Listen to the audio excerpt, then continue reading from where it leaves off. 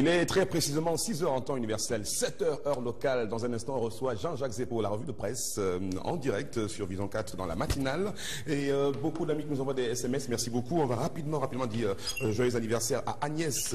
C'est Agnès, je crois que c'est la fille de Elsa. Je ne sais pas si c'est Elsa Matéa qui, a 6 ans, mais en tout cas, voilà, c'est cela, exact. Agnès, donc, souhaite un joyeux anniversaire à Elsa Matéa qui a un an de plus aujourd'hui, exactement 6 ans. Et voilà, un bonjour aussi à quelques amis qui nous regardent, ou l'animateur Chop Chop qui nous regarde, on lui adresse ce bonjour au président Chop Chop qui nous regarde, un bonjour à monsieur Jacques Bandji, vous nous regardez, vous êtes nombreux à nous regarder. Tout à l'heure, on reviendra pour euh, euh, vous dire un petit bonjour sans aucun problème. Il est là, Jean-Jacques Zé, je suis très heureux de le recevoir ici. Bonjour Jean-Jacques.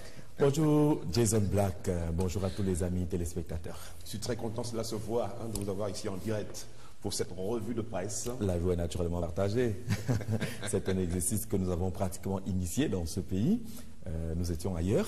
Nous sommes là aujourd'hui pour continuer la belle aventure en tout cas. Et c'est ça la magie, ça fait quelque chose. Hein. Franchement, je ne savais pas que c'était si, ça allait si fort que ça. Je le sens, ce truc-là. Ça fait quelque chose.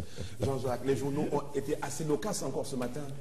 Oui, mutation par exemple parle de la consommation du tabac au Cameroun avec un chiffre qui donne pratiquement froid au dos. 2700 Camerounais sont tués chaque année à la suite de la consommation du euh, tabac. Le tabagisme tue toujours dans notre pays. Comment faire pour régler cette situation? La présidente de la coalition camerounaise contre le tabac soutient que la cigarette est un frein à la réalisation de l'objectif de développement durable et sur la santé et le bien-être des citoyens. Le chiffre, mais également les 10 propositions qui sont faites par cette organisation, la 3CT, pour limiter la consommation du tabac dans notre pays face aux désastres causés justement par le tabagisme. Les 10 euh, façons d'agir sont proposées d'ailleurs par mutation ce matin. Elles partent par exemple de la détermination ou la mise en place d'une véritable loi